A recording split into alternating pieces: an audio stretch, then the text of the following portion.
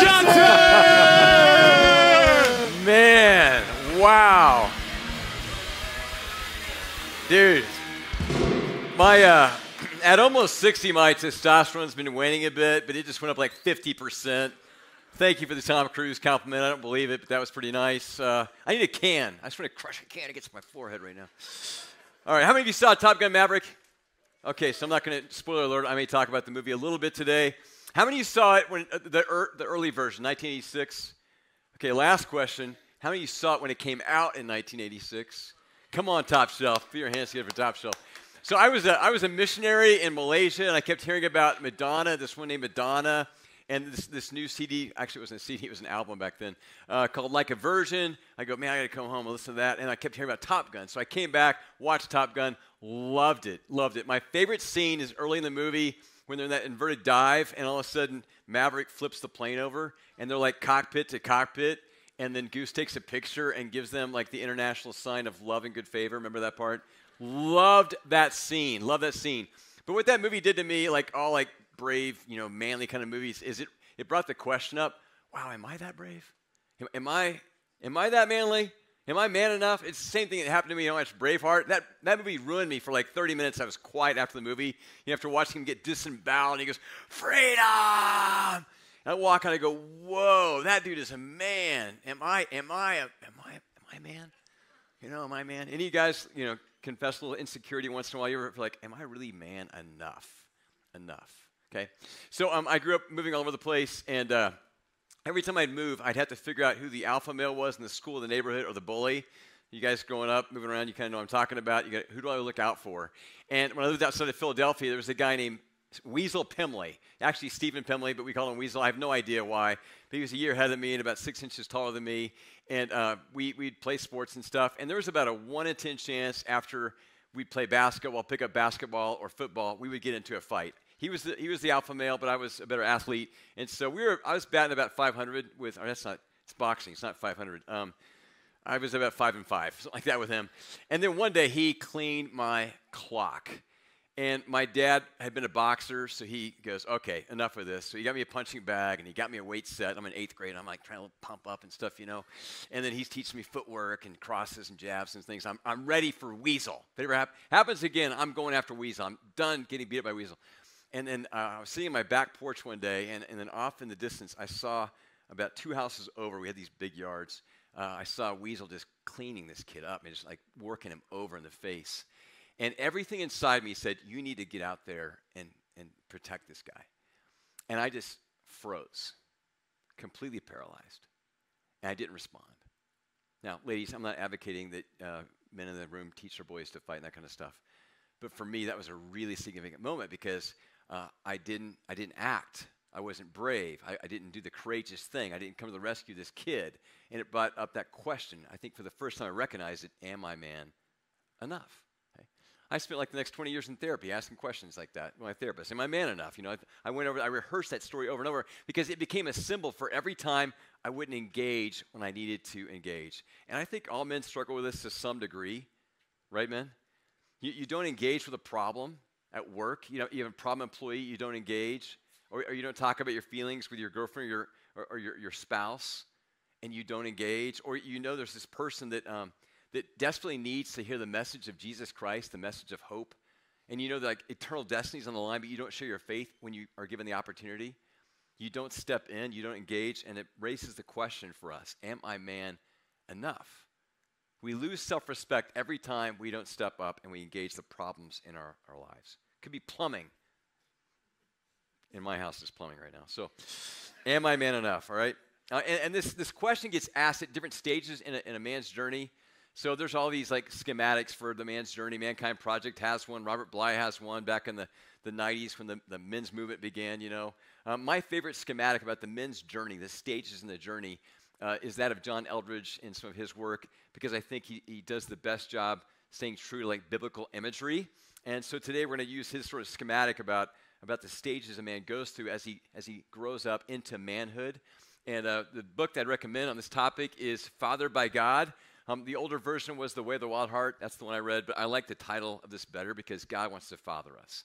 And He wants us to grow in the gaps as men where, uh, where we have gaps, where we need some fathering. So, um, a caveat and then a suggestion as to how to listen to this message. Um, if you're new, it's a different kind of message. We're not going through the book of Acts today. This is more topical. Uh, but I do want to say this as a caveat. Um, the antidote to toxic masculinity, because this topic always raises up that issue for us, right? Especially the women in the room. Now, it is not for, for men to become more like women, which is sometimes the cultural message. Because the opposite of manhood is not womanhood, the opposite of manhood is boyhood. Agree? The, the problem isn't that men need to become more like women, the problem is that boys need to become men. And that's what the masculine journey is all about. So Paul said it this way in 1 Corinthians 13 11. When I was a child, I talked like a child. I thought like a child. I reasoned like a child. When I became a man, I put the ways of childhood behind me. Um, nothing wrong with being a boy. Nothing wrong with being a child. I have a 27 year old boy and a man, and I got a four year old boy, okay? And if my four year old boy doesn't become like my older son, who is a man, then we got a problem. So boys need to become men. That's what this message is about. It's about maturing and becoming men. Uh, how to listen to this message. Women, pray for the guys around you, okay? Please do that. I mean, this one's for the dads, right? We're focusing on men. It's Father's Day. I see you. Uh, I got some eye candy for you with some pictures here in a little bit. You're going to love it. Okay, I see you. I see you. But you women, you do a great job. You read about this stuff. You listen to podcasts. You talk about, you know, women's issues and stuff. Um, most guys don't read books after they get out of college and they don't talk about this stuff. And that's why we're doing this. We're focusing on the guys today and talking about what it means to be a man and grow into the, the manhood that God has for all of us. All right, so six stages in the journey. Guys, as you're listening to these stages, most of us are in a home stage. Like we're all in all the stages at the same time, but we tend to be most at home in a particular stage. So ask yourself the question what stage am I primarily in right now? And then I think just as important, where do I have some gaps? Where do I ne- need to ask my Heavenly Father to father me where I have some gaps in my masculine journey? That'll make more sense as we go through the, the stages. All right. Um, we didn't pray. I'm going to pray for us. We'll jump in. Uh, Father, thank you for Father's Day. And uh, on this day, we're going to honor all the men in the room who are fathers, and uh, may they be loved well and honored well. And yet, we recognize that uh, as fathers, we fail, and we all have gaps. And so, Heavenly Father, will you be the Father we need today, and will you help us fill those gaps? And, and then will you help the men in the room uh, have a clear understanding of what manhood is from a biblical vantage point, and then help us grow into it. In Jesus' name, everybody said, Amen. All right, stage number one, the beloved son stage.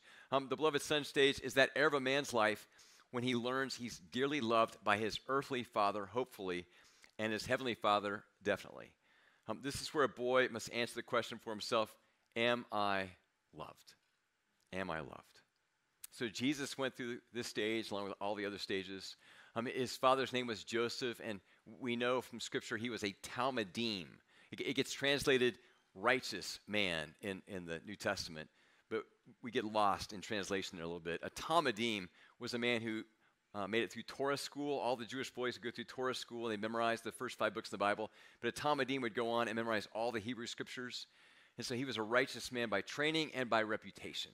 So we don't know how many years Jesus had with his father Joseph. We know he died at at a certain point, and we know he was a carpenter, and, and you, you know, doubt loved his son as long as he was alive. Not perfectly because he was a sinner like all men, but he loved him well. But his heavenly father filled in his gaps. And his heavenly father answered the question at the deepest level Am I loved? And so we read about Jesus in his baptism in Matthew 3:17 as he's coming out of the water. His heavenly father said over him, "This is my beloved son with whom I am well pleased." Isn't that nice? Yeah. Do you know that's what Jesus says over you at your baptism? This is my beloved son. This is my beloved daughter with whom I am well pleased. When you come out of that water, you are spotless and holy before the God of the universe. So Jesus knew about his father's love. He was the beloved. Now, this is super important because a man must know he's a beloved son or he will be desperate his whole life. He will always be trying to get attention from others. He'll be insecure and he will wear out the women in his life with a question Am I lovable? The question only God can answer. So, I, uh, for those of you who are new to restoration, I mean, like uh, post COVID, you don't know much my story. Pre COVID, you guys know too much my story probably. But I, I grew up in a distant home. So, uh, my parents grew up in northwest Arkansas during the Depression, during the, the Dust Bowl years. They were always trying to survive. Um, their descent was from uh, Scandinavians, Irish, German people, and a little bit Cherokee Indian. And so growing up, having what, you know, experienced what they went through, they didn't spend a lot of time telling me that like they love me. Okay, I, I think I heard my mom say it a couple times. I never, growing up in my 18 years at home, ever once heard my dad said, say to me, "I love you." Never heard it. And so I, I, took that question all over the place. I took it to performance. I always thought, man, if I just perform well enough at this or that, then uh, you know I'll be lovable. Okay. I, I took it to women. Uh, am I lovable? Am I lovable? I was desperate for love. And, and, then at the age of 16, I began to follow Jesus.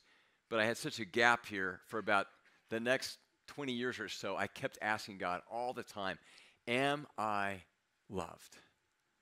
And, and usually it would happen in the morning. I'd wake up and I, I'd reflect on the day before, you know, before the, the wild horses of the next day come running at you. I'd think about what happened the day before. And I'd think about where I failed, where I didn't perform well. And I found myself asking God that question God, do you love me?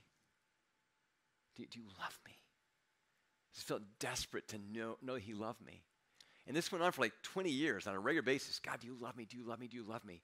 And then one morning, it was like he was frustrated with me. I could tell he was aggravated because I kept asking him the question all the time. It was like me going up to uh, Guanella Pass with my kids on Thursday. Dad, when are we going to get there? When are we going to get there? Like, uh, we, we'll get there when we get there. I, I could tell I was like frustrating him. And, and I started laughing because I feel like he said to me, When are you going to stop asking me the question I've answered so clearly through the cross? And I needed him to be harsh with me in that way because I started laughing, going, Yeah, you know what? I guess you do love me, don't you? And that was the day that that idea about Jesus dying from the cross and God loving me so much he'd send his son for me went from my head down into my heart. And it changed me significantly. It made me more secure. It grounded me. It's not that I don't ask that question from time to time. I still need my Heavenly Father's love. I just don't ask the question with the kind of desperation that I once did. Many of you men, you need God to answer that question for you. Um, A.W. Tozer once said, Learn your Father. That's a great line. Learn your Father. Learn who your Heavenly Father is experientially, and let Him answer all your questions for you. Now, if there's one habit I, I wish upon our whole church, it's the habit of on a regular basis, a daily basis, just spending time in the presence of our Heavenly Father, letting Him love us. Whether you're a morning person or an evening person, letting God just tell you and letting Him experience, or you experience His love on a daily basis, is one of the most critical things we could do as a church. We need His love like we need oxygen.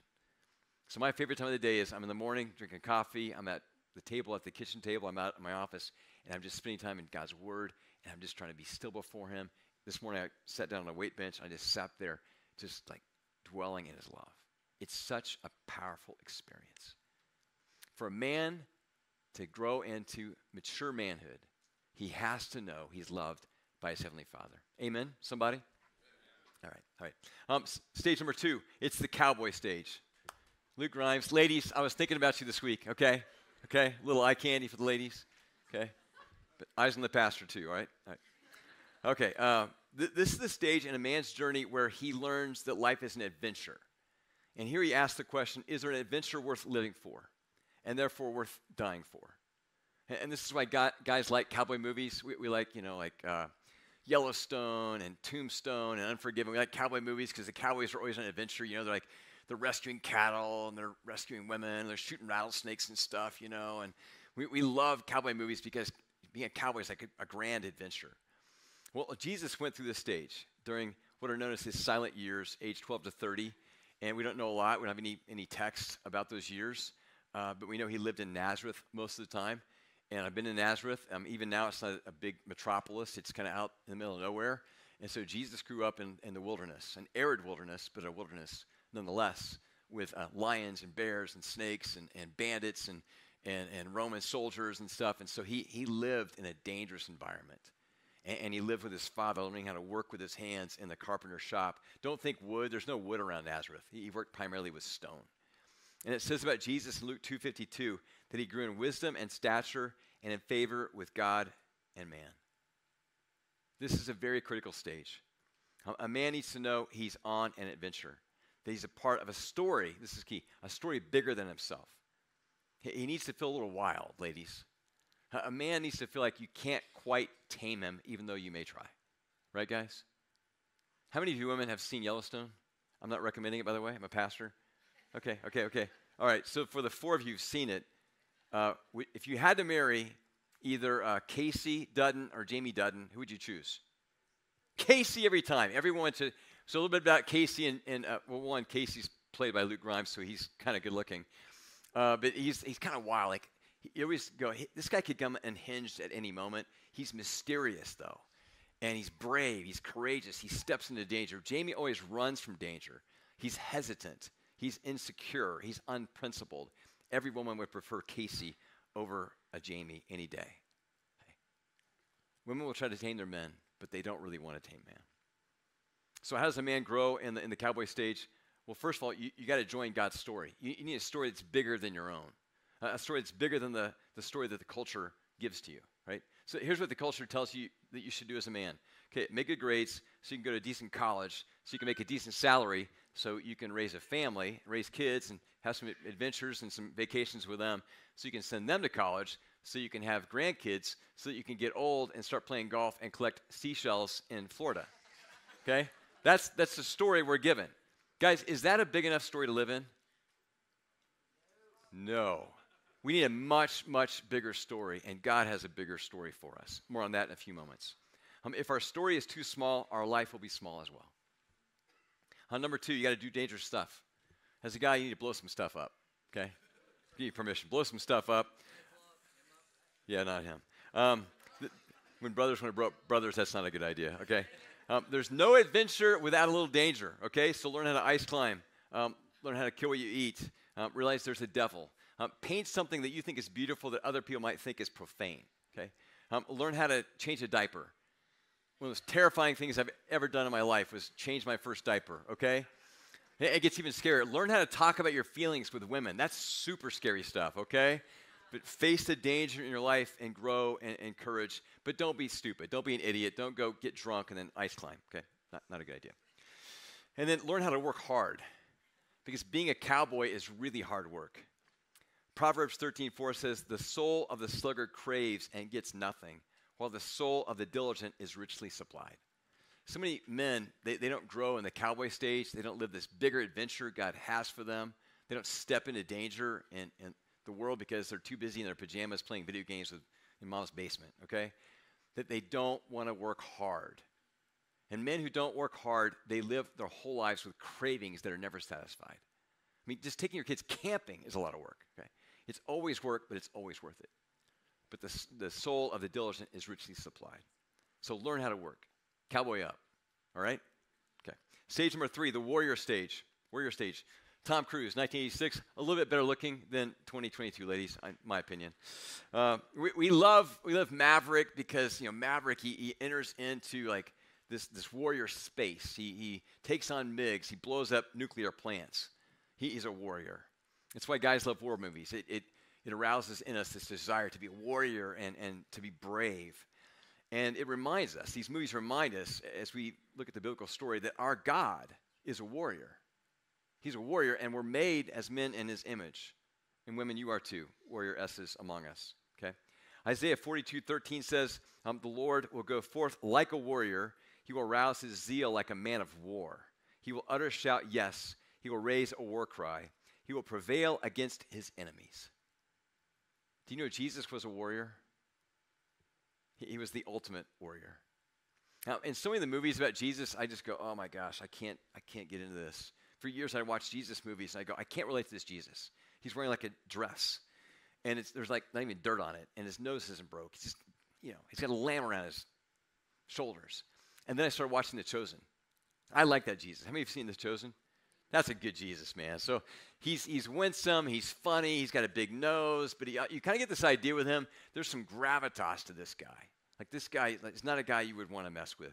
Jesus was a, a warrior, okay? and he wants to teach us as men to be warriors. Um, this stage matters because a man has to answer the question is he brave or not? So, how does a man grow as a warrior? Well, first of all, we engage those problems, like we talked about in the introduction. We, we, we engage the problems that we want to run from. I don't care if it's a plumbing issue or it's a technology issue or it's talking about your feelings with your wife or changing that diaper or, or it's sharing your faith with a person who desperately needs to know the hope of Jesus Christ. We don't run from problems, we engage them. That's what men do.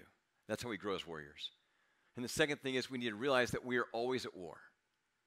We're always at war. Most men are asleep and they don't realize they are at war every single day, and the people around them are at war, and they're called by God to engage the battle for other people's hearts every single moment of every single day. So it says in Ephesians chapter 6, verses 10 through 12 finally be strong in the Lord and in his mighty power. Put on the full armor of God so that you can take your stand against the devil's schemes. For our struggle is not against flesh and blood, but against the rulers, against the authorities, against the powers of this dark world, and against the spiritual forces of evil in the heavenly realms. This passage is saying there is a war going on around us all the time. And as men, we have to learn how to fight. So you have to know your enemy. We could do a whole series on this. We probably need to sometime soon. So your enemy is not just the world or the culture. You have a literal spiritual entity of evil that's coming against you every single day. And so you need to know your enemy. It helps to know his names. So the primary name for our enemy in the Bible is Satan, which means adversary. Our adversary men is not inflation. Okay? it's not, it's not uh, our wife and her nagging problem that she's wrestling with with us, something she doesn't like about us. It's not an employee that's underperforming. Our, our ultimate adversary is Satan himself. Um, he's also called the devil, which means accuser. So that voice you sometimes hear inside of you that's accusing you and condemning you and telling you that you're not enough and that's shaming you, that's not just you. That's the devil. He's the accuser. Um, he's the tempter. He's the one behind our temptations. He's constantly tempting us to diminish our manhood by doing that which is you know, sinful and unrighteous. He's also the father of lies. I mean, every single day, outside of us and inside of us, we face this disinformation campaign. All these lies that we have to fight in order to win the spiritual battles that God's calling us to engage. And so, to do that, we need to know our weapons. Got to know our enemy, got to know our weapons. Um, can you imagine, like, some guy in the Ukrainian army and he's being sent to war and he doesn't know how to work a gun? He doesn't know how to shoot it, doesn't know how to clean it, doesn't know how to keep it in good shape. Now, men, when they go to war, they, they, they know their weapons. But most men, they don't know how to spiritually fight. And they need to be trained. And our Heavenly Father wants to teach us how to fight. And so 2 Corinthians 10.4 says, The weapons we fight with are not the weapons of the world. On the contrary, they are uh, divinely powerful to demolish strongholds. We, we have these weapons God wants to give us that we can fight. I mean, the enemy, just like any enemy, has strongholds in our lives and the lives of other people. He, he's given us weapons. God gives, gives us weapons to be able to fight. The primary weapon is the Word of God. So Jesus in, in Matthew chapter 4, he's, he's fighting Satan himself, and, and Satan accuses him, and Satan lies to him. And then Jesus fights with what's called the sword of the Spirit in the Bible, the Word of God. And he takes verses from Deuteronomy that he's memorized and he fights back. He fights the lies and the accusations with the truth of God. Um, the other weapon is prayer. When we get on our knees and we pray that God will help us with the battles we, we're fighting, he unleashes the host of the angels in heaven on our behalf to fight for us and with us. Is that good news? Okay. So, as men, we've got to be warriors. we got to learn the nature of our battle, the nature of our enemy, learn our weapons, and we've got to learn how to fight. Um, stage number four, the lover stage. Um, this is where a man discovers beauty. Now, I, I love this Celtic proverb never give a man a sword who can't dance. A man who can't dance but who has a sword is a dangerous man in a bad way. The question that men ask in this stage is is there a beauty worth pursuing? Is there a beauty out there that I, I can pursue and that will wake up my soul? So, Jesus, uh, he was a poet as well as a warrior. I mean, he could fight Satan, uh, he, he could hold his own in a theological debate, but he wrote the Psalms, some of this beautiful poetry that's ever been, been written. Um, he, he loved lilies and flowers. Um, he, he, loved the beauty in women. He fought for the beauty in women. He, he fought for the woman caught in adultery. He fought for uh, the woman at the well. He fought for his mother, to protect his mother and to cherish his mother. Jesus was a lover of beauty and he was a lover of women. And as men, we're made to be lovers of beauty and women as well. And if a man does not become a lover, he'll be dangerous in a really bad way. He'll be a mercenary, not a soldier. He'll be a sperm donor, not a father. He'll be religious, but not have a relationship. That's not the kind of men we want to be. Uh, my father did a pretty good job with me in the cowboy stage. He made me cowboy up. He would just he would create work for me to build a work ethic. He crazy stuff he had me do. Uh, warrior stage, he was a boxer, like I said. He did that warrior thing with me. But I didn't see my, my dad romance my mother, and that left a hole in my manhood. And we didn't sit around talking about poetry. I'm not sure we ever used the word beauty in our household. Okay? And so that's been the primary place where I've had a gap in, in my masculine journey. And I've needed my Heavenly Father to help fill that gap.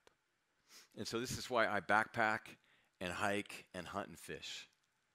Um, Henry Thoreau once said, Most fishermen spend their entire lives without knowing it's not the fish they're after. Okay. Ladies, when we go outside to go fishing and hunting, it's really about beauty more than anything else. It's not about what we're chasing. And, and so for me, it's Mount Falcon. I mean, I, we, we hike and backpack and go different places, but on a pretty frequent basis, especially in the summertime, I go to Mount Falcon because it's, it's close by. And I've been climbing Mount Falcon for 30 years. And when I was in my 30s, I would, I would run up Mount Falcon. And then in my 40s, I would fast hike up Mount Falcon. And now I stroll up Mount Falcon very, very slowly, partly because I no longer have the fitness to do anything else, but, but also because slowing down helps me see beauty. And so the other guys in the teaching team have been making fun of me because for the first time in my life, I'm, I'm seeing flowers. Like I used to just run past flowers, you know? Now I stop and I go, wow, the columbine's gorgeous. Look at that painted brush. Like I actually stop and I admire the flowers. And, and I've got a, uh, a uh, cow elk tag for this fall. I'm going to hopefully shoot an elk. But now when I see the deer, I stop to them and I started talking to the deer this week. I literally was talking to deer. There were five deer. Like it was a, there was a mother doe and uh, two does and two little bucks with like the felt in their little antlers and stuff. And I stopped this last Thursday and I was talking to them. I was like, you guys are so cute. Man, you're, you know, what's for breakfast today? You little bucks, man, you're going to be warriors someday. I actually sat, I was, they're like 10 or 15 yards away because they're stupid. I, I was hunting, I could have killed them with a rock or something, but I'm talking to them. I, I, I walked away going, I'm becoming like freaking St. Francis. I'm talking the animals and the flowers and what is happening to me what's happening to me is I'm learning to appreciate beauty. Like I'm, I'm, realizing I need beauty. I, I need God to wake up my soul. And when I notice beauty, it softens my heart. It softens the warrior spirit within me, and it makes me more compassionate. So, how do we grow as lovers? Uh, we spend time enjoying beauty. We get outside, we read poetry, we, we take up photography, we learn how to play an instrument, uh, we look at flowers. If you guys have a girlfriend, you can buy me flowers, okay? We'll trade off the flowers, okay? Um, and then, second, we pursue women. Because women are the ultimate beauty. And some guy sitting next to his wife right now needs to say amen. Okay? Right? Uh, women are the ultimate beauty. Uh, Frederick Buechner, he, uh, when he was a boy, he fell in love with a girl in Bermuda. And it just, I mean, head over heels in love with this beautiful young girl. And he later said, All the beauty I longed for beyond the beauty I longed for in her. My interpretation. He was enthralled, captivated by her beauty, but he recognized the beauty in her pointed him to the greater beauty, which is the beauty of God. Okay. So my wife's in the front row. And when I look in her face, I see the ultimate beauty. And her face gives me peace. And yes, I'm being syrupy. Email me. Go ahead. but but um, her face, as beautiful as it is, it points me to the creator of her face and the creator of all beauty, my Heavenly Father. And what our hearts long for more than anything else is the beauty of our Father's face. And one day we're going to see it. Between now and then, we find this beauty in flowers and animals and sunsets and pulling trout out of a river and in the face of our women. Amen, guys? Okay, all right. So, man, let's become lovers. Let's become poets. Let's learn how to dance. Let's discover beauty. Um, stage number five, the, the king stage. And we got Tom Cruise again. No, who do we have here? Aragorn. Yeah, I got the wrong thing here. That's Aragorn. What? The rings. I have Tom Cruise in my notes, but anyway, we'll go with the. We got this one. We got this one. I should watch the movie, huh? All right. Back to the stage. Okay, Get, forget the movie. Okay, a man on the stage learns to rule. Did I skip a stage?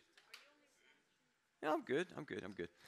I've done this a few times today. Okay, this is the stage where a man learns to rule over a kingdom, be it his job, his ministry, or the influence he has with his, his family and his friends. Okay, and, and the question he asks here is, "Am I worth following? Am I worth following? Um, Jesus was a king, not just a king, but the King of Kings, the, the Lord of Lords. And he brought a kingdom to earth, the kingdom of heaven.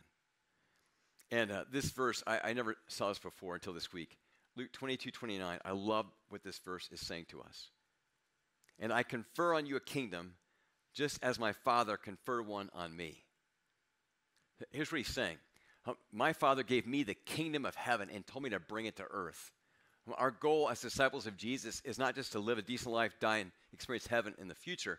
We're to experience heaven, the kingdom of God, right now. Every time we obey Jesus as king, we do what he wants us to do. We experience the kingdom of God right now. But he's conferred upon us his kingdom, and he wants us to be kings and queens who bring his kingdom to earth as it is in heaven. Did you catch that? And so every man in this room is called to be a king, a good king. And the world is desperate for good kings. The world needs good kings because there's so many bad kings. So when you think about bad kings, who comes to mind right now? Maybe Putin? maybe pastors who've gone bad? Hillsong, Mars Hill, you know. Uh, maybe Harvey Weinstein in, in Hollywood. Maybe some president you're thinking of, pastor, president, I don't know who, you like, who you didn't like. Uh, whenever there's leaders that uh, use their power against people to diminish people and to grow their kingdom at others' expense, we say that's a bad king. That's a bad king. The world needs good kings with good character so that the people underneath their influence can flourish and experience the kingdom of God. So, how do men grow as kings? Uh, number one, by becoming ridiculously responsible. You have to take responsibility. You don't blame other people for what's going wrong in your home or your business or your simple church or your ministry. You take responsibility. If you're in charge, you're responsible. You own it. That's what good kings do. Good kings are humble. Okay? They don't blame other people. Um, Steve Kerr I'm a Warriors fan. Any Warriors fans out there? Okay. I just realized last night the Avs were even playing. I'm still kind of like recovering from the, the, the, NBA championships. But I came from San Francisco. Love Kerr. The reason I like Kerr is this: in, in press conferences, if his team plays poorly, he blames himself.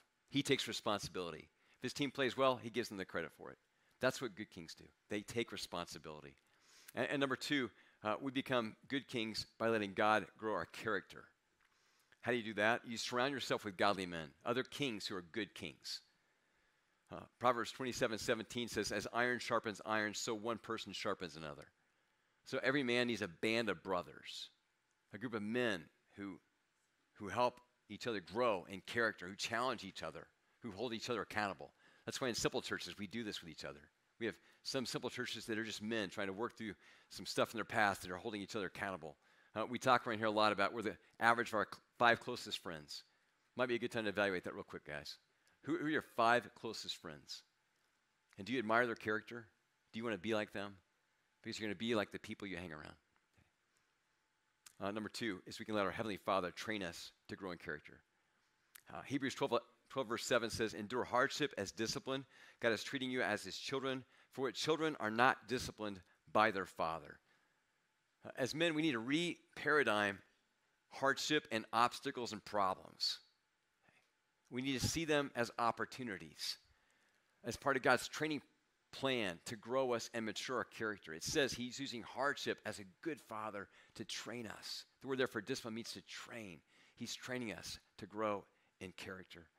Heraclitus, who was a, a Greek philosopher, once said, Character is destiny. Your character will determine what kind of king you are or are not.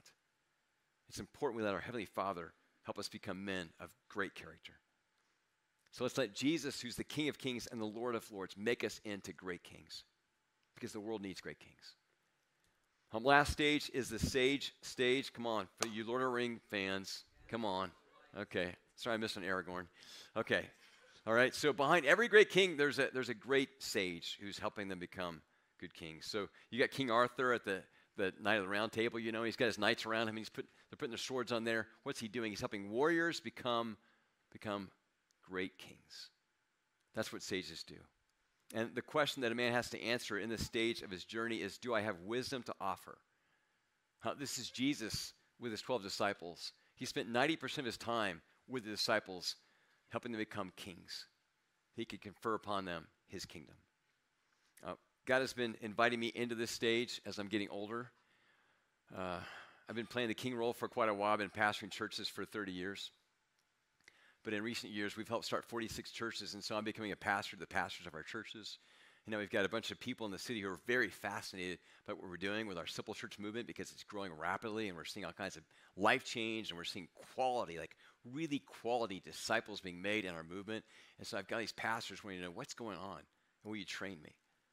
And then we've got this team. If you haven't noticed, um, our team is a young team, and it's kind of scary, but biologically, I could be the father of everyone on our team. I could be Billy's dad, okay? That's how old I am. Yeah. But I love this stage. It's kind of scary because, you know, most men, we don't feel like we're worthy of being considered a sage. But we're needed. Like the young kings and the young queens around us, they need us. And so I'm learning to love this stage. It's not about me anymore. If you're a sage, it's not about you. Give up your power, give it away. You know, be the wind underneath, underneath the wings of, of these young kings. Give them opportunity. Give them everything you've got. That's what we're made to do in this stage. That's why I don't, I don't teach all the time. These guys need it. They've got incredible teaching gifts, stronger than mine. Let them teach. Okay?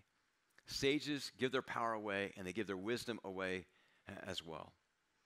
Men in the latter stage of their lives were not meant to go around golfing and looking for the best ice cream in malls and collecting those seashells in Florida that I talked about earlier. Okay? That's not the way a man should end his life we're needed. For the world to be led by great kings, we need to be sages and give our wisdom to them and give our love and our blessing to them as well. So, how does a man become a sage? Well, you got to do your work in the earlier stages, and we always have work to do in our earlier stages. You fill in the gaps and ask your Heavenly Father to father you where you have gaps. And then uh, always be a sage to the generation behind you. So, you don't have to be an old guy like me to start being a sage for the generation behind you. You can do it right now. And that's one of the really cool things about our church is we're very multi-generational. If you haven't noticed, that's a value of ours. And so we have high school students pouring in to the lives of middle school students and discipling them and giving them wisdom. We have college students pouring into high school students. We have 20 somethings in the brook, young adults pouring into college students, and so on and so forth. Okay? That's the, very beautiful thing about our church. And so start being a sage now. Pour in to the people who are younger than you disciple them, mentor them, give them your wisdom. Right? So here's our question the question of every man Am I man enough? Am I man enough? Do not take that question to your work or to your women or to your world. They can't answer that question for you. The only one who can answer that question for you is your Heavenly Father. And He's saying to you right now, You are man enough. You are man enough. And let me help you become the man I made you to be. So, a little review the stages of a man's journey. Here they are. Your Heavenly Father wants to, He wants to father you through every single one of these stages. Um, do you have a gap in your past being the beloved son? He wants you to know, beyond a shadow of doubt, that you are the beloved Son of God, that you are deeply loved. He gave His Son, Jesus Christ, for you. If you've never received Jesus Christ as your Lord and Savior, you're missing out on fully embracing God's love for your life. I would encourage you, even today in this moment, just receive Jesus Christ's love for you, His forgiveness, and go get baptized as soon as possible so that God can savor you what He savor His Son. This is my beloved Son in whom I'm well pleased. Do you have a gap in the, in the cowboy stage as a man? Um, God wants to bring you on an adventure, His adventure. The only adventure large enough for your soul. He, he wants you to be wild and dangerous, but in a good way. Do you have a gap as a man in the warrior stage? God wants to awaken you to the fact that there's a spiritual battle going on around you every single day for your heart and for the hearts and souls of others. And He wants to teach you how to fight. He wants to teach you how to use the weapons He's given you. Do you have a, a, a gap or a hole in the, uh, the king stage? He wants to grow your character. He wants to make you into a good king because the world so desperately needs good kings. He wants to mentor you because Jesus Christ, his son, is the King of kings and the Lord of lords. Um, God wants to help you become a sage. He's the, he's the source of all wisdom, and he wants to pour his wisdom into you so that you can create great kings. whatever stage you're in, He wants to father you and help you become a man of God. A man who, every time he asks the question, Am I man enough? you hear the voice of God saying, Yes, you are man enough. And as a church, we don't leave you alone in this process, this masculine journey we're all on. And so we've got a retreat coming up. Uh, some details here. Love the beer, by the way. Um, August 12th through the 14th, Scott Fuog, who I think is in the room, maybe, maybe not. Um, he's going to help lead this retreat. We're going to go back through these stages. We're going to do some work. It's not going to be uh, some kind of weird men's retreat where you get naked and you, you know, play bongos or something. Okay, we're not doing that kind of stuff. Right? We're not we're not smoking peyote or something like that. No, this is this is going to be a, a Jesus-centric man's retreat. We're going to go back through these stages and we're going, to, we're going to encourage each other and strengthen each other and let God father us. All right, let's pray. Uh, Father, we thank you that you are the perfect Father. You are the perfect Father. And uh, Father, we, we love our fathers, but they all had gaps, and therefore we have gaps. And so we desperately need you as men. We need you as our Father. We need you to answer all of our questions, especially the question, Am I man enough? And Father, I believe that through your word, you've been answering that question today. And so, as men, whatever you've said to us, whatever word you've given to us today, Uh, I pray we'd hang on to it and we'd own it and we'd be transformed by it. And may we become a church full of godly men who raise up other godly men for generations to come. To the glory of your Son, Jesus Christ.